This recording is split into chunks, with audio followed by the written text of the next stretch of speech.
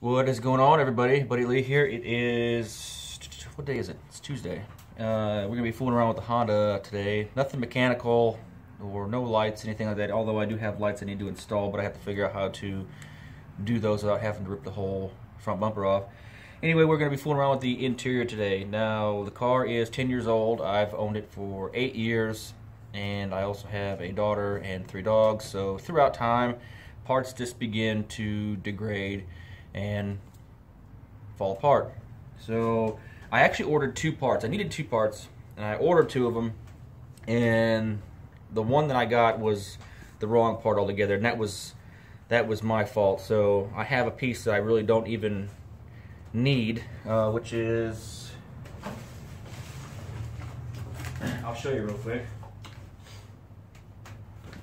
Which is this. Now I needed the weather stripping that goes on the inside of the window that when you roll your window up, the window fits inside of that track almost and, and guides it up there and it will seal it from both ends.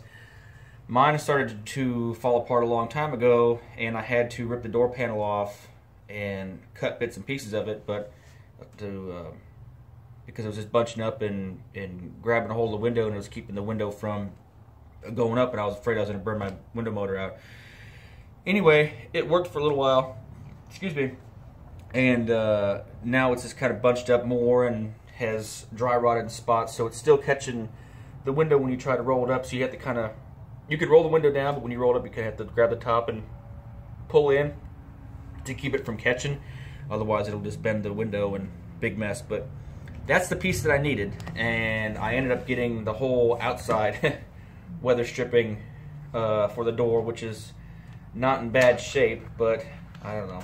Things that I have it, I might as well install it, but I'm not going to do a video on that right now because it doesn't need to be done.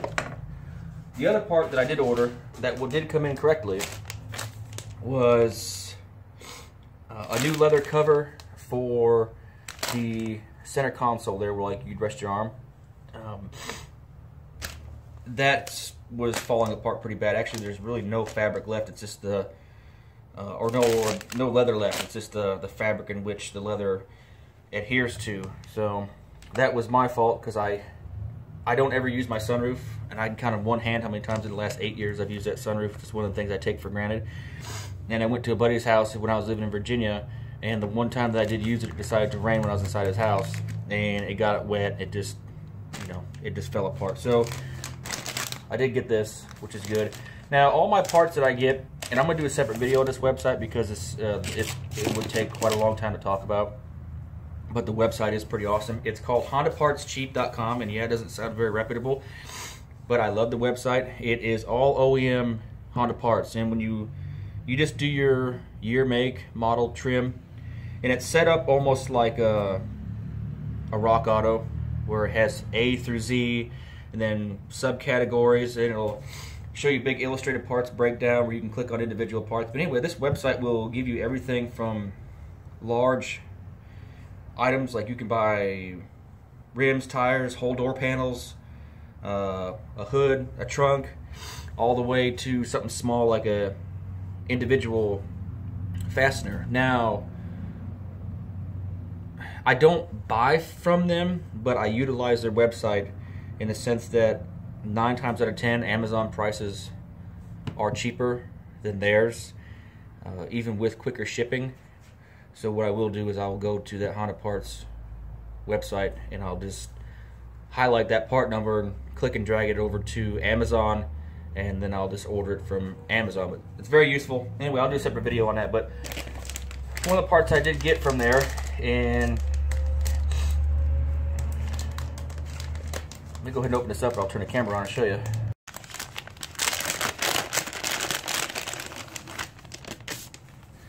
This is the replacement cover for the center console. Now I could have bought the uh, the lid assembly itself with cover, but they wanted 200 it's either 208 or 280 dollars just for um, the lid to the center console with the cover on it, and that was more than what I wanted to spend for that.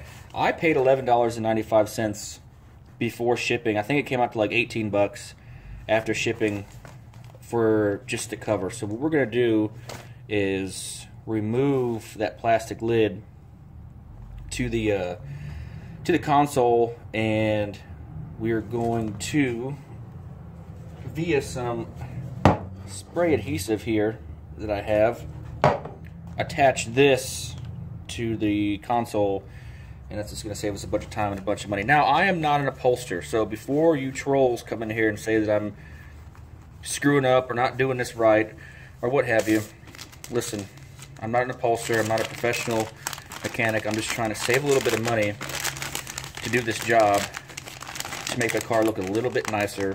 And if you don't like the way that I'm doing it, there's a little X on the top right hand corner of your screen. Go ahead and click that for me and that'd be uh, greatly appreciated. Uh, let's grab some screwdrivers. Because from my research, it looks like I only need to remove seven screws to remove that thing. And we'll, uh, we'll get that going.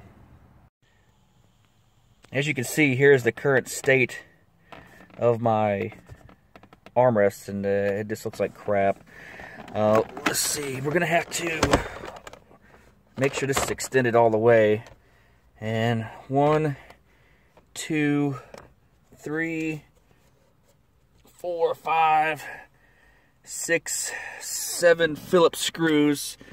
And that looks to be about it. With them seven with them seven screws removed, the whole top just falls off like this. Now I don't have looks like it's stapled in. We're gonna have to figure something out because I don't have a staple gun. We might just have to go without stapling this back in. Let's go ahead and take this into the shed and see what's going on with it. Right now all I'm doing is just taking some scissors and cutting the excess away pulling it out and then I'm going to take a flathead screwdriver and start peeling them staples out which seems to be at the moment that's going to be the most tedious part. But then again none of my projects ever go well so I'm sure something else will something else will pop up too. But yeah we got a ton of staples to pull out. I'll be right back yeah, so we got the cover stripped of the remaining bit of the fabric that was on there and of most of the staples. I'm not going to worry too much about the staples that are harder to get to simply because I don't have a staple gun and we're not going to be using staples to um, put it back on. So the first step that I'm going to do is we're going to spray some glue on this pad here and I'm going to place my cover right here, stretch it out to fit. Of course, you have these outside creases that need to go along this section here. And this center crease here, I'm going to make sure that it lines up. You have like an indentation here and one right there. So this center crease, I'm going to make sure is lined up uh, with that. And then we're going to wait for that to dry once that is complete, we're going to go through the painstaking process of stretching this material over the lip. I'll do a little bit of spray glue and I'll take a clamp and I'll clamp the crap out of it and wait for it to dry and then just you know go around in a circle again I don't have a a staple gun anywhere around so that's going to be kind of a, I'm doing this the hard way and probably not necessarily the right way, but this is the way that I'm doing it. So we'll see how it works.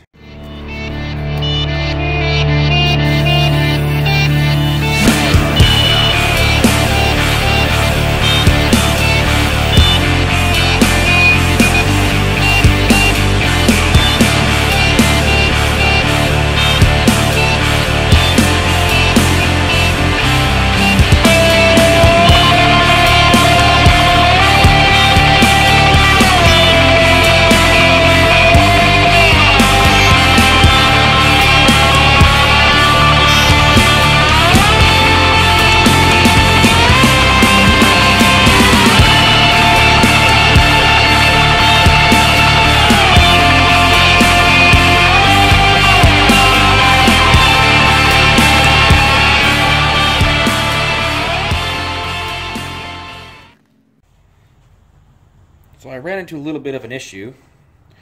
Uh, the cover adheres good to the top. Of course, it is a fabric glue, but um, you know, stupid me, the glue doesn't want to adhere the leather to the plastic, so I'm going to use a two-part quick setting five-minute epoxy to adhere the leather to the inside of the plastic here. Alright, here's a little bit of look at the shit show that I have going on right now. It's uh, it's not pretty, but I'm like I said, I'm having to do segments at a time. Um, I happen to have four, actually I have five clamps. The other one is a 36 inch clamp and that's not going to fit up here. I'm just applying some of the epoxy to the fabric, rolling it over and taking a clamp and clamping it tight until it cures. So, uh, no sense in me filming doing that. So, just want to give you guys a look at what I'm doing right now. Like I said, there's easier ways to do this. If you had a staple gun, uh, this job probably could have been done by now, but I don't have one. And again, this is just how I'm doing it. So if this if this doesn't turn out to be a how to do it type of video, it's more or less uh, this is what I got. And if you have a shitty center console cover, this is where you can get a type of video. So this is what I'm up to. We'll get back to you once all this is said and done. Alright, so here we are. We got everything adhered down with the epoxy. Uh, it's about as good as I'm going to get it without having staples. Uh, last and final thing I'm going to do before I reinstall it is I'm going to take, this is my makeshift caulking gun because my last one blew up. It was all old.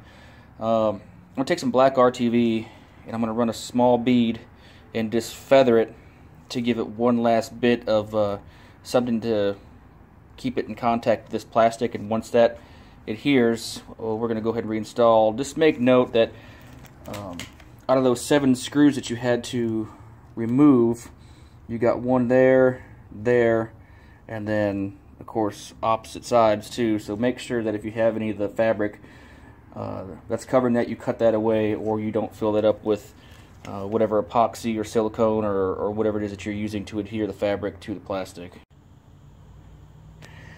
Alright, so here's where we're at. We have the silicone on there, the black RTV. Again, I was able to epoxy everything on there, hold it down with clamps, get it stretched out enough to where I think it looks pretty good, and then I ran a bead of black RTV around the bottom, feathered it out for a little bit uh, more glue or grip or what have you. All in all, if you flip it over, it don't look too bad. I got a wrinkle there and, you know, whatever. It looks a lot better than it did to begin with. Of course, you saw what it looked like before. There was pretty much nothing there. I'm not an upholster. I don't know how to do this. It would have been a lot easier if I would have had a stapler or staples. I actually found a stapler. I didn't know I even had one. I got one uh, right here, but I don't have any staples for it. Actually, I don't even think that belongs to me. Uh, I had the glue, and the glue worked when I was adhering the cover to the fabric, but once it got to the plastic, it didn't really do worth a damn. So I did that two-part epoxy, and then I actually, uh, I actually ran out of that because I didn't have a, a big container. I just had this small little thingy here and that wasn't quite enough to do what I needed to do. So I had some Gorilla Glue, that super glue, and uh, that is some pretty awesome stuff. Um, so I used that for the rest of it, and then again, like I said, I used the RTV for the last bit of it. And I think it'll do pretty good right now. If it doesn't hold the way that I want it to, I'll watch it for a little while. If it doesn't hold, I'll go out and get some staples and uh, and secure it to the plastic that way. But right now, we're to kind of take a break. We got to wait for that RTV to cure before we reinstall it. So I'm to go ahead and shut this off. I'm to run into town real quick. I've got to do some paperwork at work on my time off. And uh, I want to stop by this place called Sir's, and let me show you why. I'm kind of digressing here, but because as you know, I'm building stuff out of those spools, and I have some here, and they were intact but not quite good enough to make furniture out of. So what I'm doing is I'm hacking off the bottoms to make a flat spot, and I'm cutting three of the planks out, and we're gonna fill it up with dirt come spring and turn them into uh, planters. My wife came up with that idea, so I thought that was pretty cool. So I'm gonna go over there and see what they have for for some spools, and uh, uh, I think that's about it. So I'll catch you guys in a second. And we've arrived at our destination. Right here is the deep abyss they call a place that I work. And here's where I get my wood. This place is called Sir's. They actually dehydrate wood that's uh, that's too wet. And all this stuff here is free scrap. And this is the size spools that I take home for tables and planters. So I'm going to take that one home. And this is a real nice piece right here. I'm going to take that bitch home right there. And I'm going to make a nice little coffee table out of that. So score. I just made a quick pit stop here coming in from Troy to Tell City. And I don't know if you guys know where I live or if you've heard the news, but the Ohio River has been flooding pretty bad due to rains, a lot of rain. Actually, ever since November, we've either had snow on the ground or a shit ton of rain. And it's just, it's been wet ever since November. And uh, from what I heard, the river's the highest it's been since 2011. Actually, we are predicted to get three more days of rain, either starting tomorrow or, or Thursday. And they're predicting the river may crest in certain areas, but I'm just at a little pull-off area now, here now. And if you look right there where them telephone poles are in that little bit of land, that's actually a set of railroad tracks that are completely underwater there. And you can see the river past that, but really the river's not supposed to start. The bank is actually probably another 50 to 100 yards out in that direction from this little strip of land right there. This is one of the higher spots that we have, and as you can see, we're about eight or nine feet from the water before it starts to crest here. It gets worse in some areas. We're actually a little bit higher altitude than some places in town. Like where I live, they actually had to put the floodgates up uh, on the flood wall to keep it from coming into the town, and there's some parts of Troy, which is down there, that they've closed the roads off in some parts in Tell City, like going to my aunt and uncle's house, they had to close off one of the roads because it's entirely underwater. But, uh, damn it, this is a lot of water. Here's some lower spots. You can see it's literally, uh, it's almost right to the road. Big ass sign that's underwater there. Got some water over there too.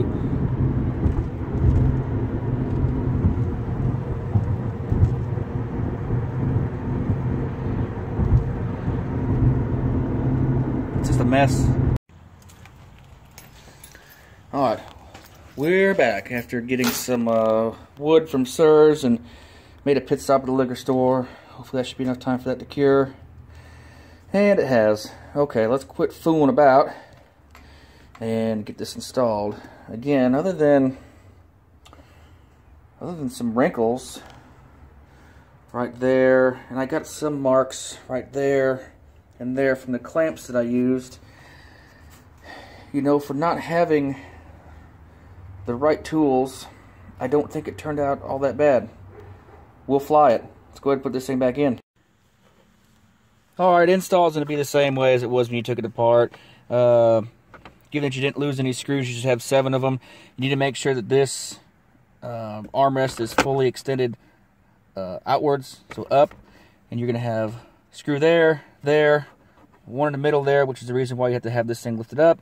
You're going to have two right there, and of course on the opposite side.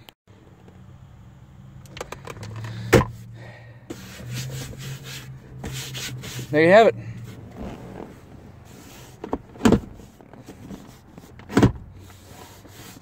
Kind of a ghetto way of putting this pad on, but you know what? Uh, I was working with what I had, and I got it to work. obviously, uh, if you want to do this right, you would need some uh, fabric glue, of course, some a stapler and some and a, some staples, and maybe some epoxy. Um, but again, I'm not an upholster, and I didn't have everything I needed, but uh, I got it done. So I'm going to leave a link in the description below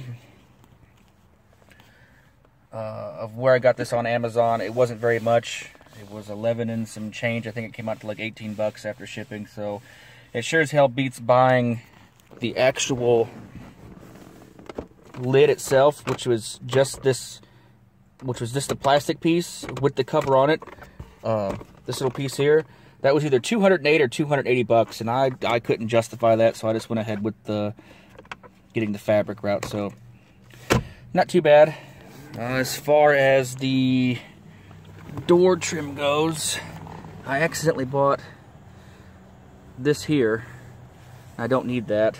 I actually need the trim that goes in there, but I found what I'm looking for, and that's only $30 on that uh, HondaPartsCheap.com. So I'm gonna see what Amazon has if it has it cheaper, and if they have it cheaper, I'm gonna go ahead and order through them. Either way, I'm gonna have to order it because that's getting bad. It's causing my window to get caught up when it's going up. It's eventually gonna, gonna burn out my motor and and cause a bigger mess than what I want to deal with. But that's gonna be it for now. So we got the armrest done. I got some wood for a table. I wasn't able to get that spool it was the wrong size. You see there's two small sizes and that size is I think a 42 inch and I need a 38 inches is the biggest that I can fit in the back of the car in a whole piece. Um, but they look the same. I really I can't ever tell if I don't have a, a, tape measure with me until I get the thing into a car and I can't get it all the way in. So, but I was able to get that big circular piece and I'm gonna make a real nice table out of that. It's all intact. That's gonna be a nice piece. So I'll do a video on that but um, and saw a little bit of floodwaters.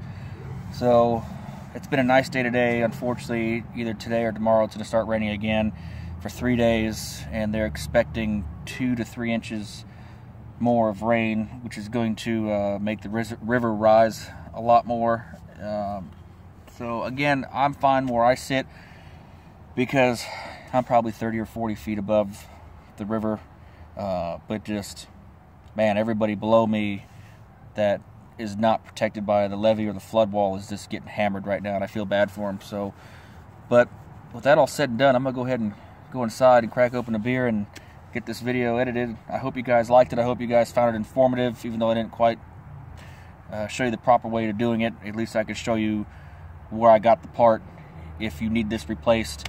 Um, but yeah, we'll uh, we'll catch you guys in the next one. Take care, guys.